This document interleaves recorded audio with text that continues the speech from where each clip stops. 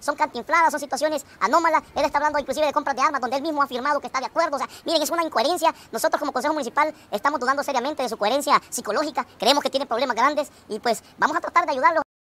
Uno que paga su alquiler en hamburguesa, pero que hasta ahorita no nos ha pagado ni una hamburguesa y no sabemos para qué vamos a ocupar las hamburguesas en la municipalidad. Eh,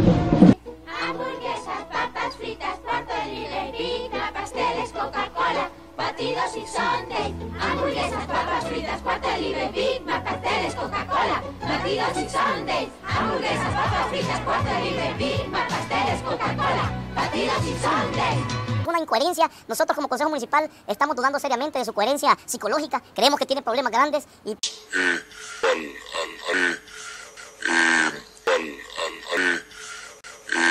estos eh, puentes, que estos eh, puentes, eh, pasarelas tipo puentes peatonales que permiten la accesibilidad, pasarelas tipo puentes peatonales que permiten la accesibilidad. Yo, yo, yo, yo, yo, yo. Primero Dios, vamos a tener la oportunidad de servirle al pueblo capitalino como su alcalde, acompañado de nuestro equipo, y poder transformar la ciudad de San Salvador, convertirla en una ciudad muchísimo más segura, más ordenada, más limpia, con más oportunidad. Nunca fue la primera opción del FMLN. Ellos buscaron al canciller de la República, no aceptó. Buscaron al ministro de Turismo, no aceptó. Aceptó, no aceptó. Aceptó, no aceptó. Eh, buscaron a la secretaria de Inclusión Social, que tampoco no aceptó, no aceptó. Aceptó, no aceptó. Eh, Hay diferencia entre un diálogo dentro del marco de la legalidad y una negociación oscura fuera de la ley. ¿Sentarse con terroristas para usted eso es válido? ¿Sentarse con terroristas es válido para usted?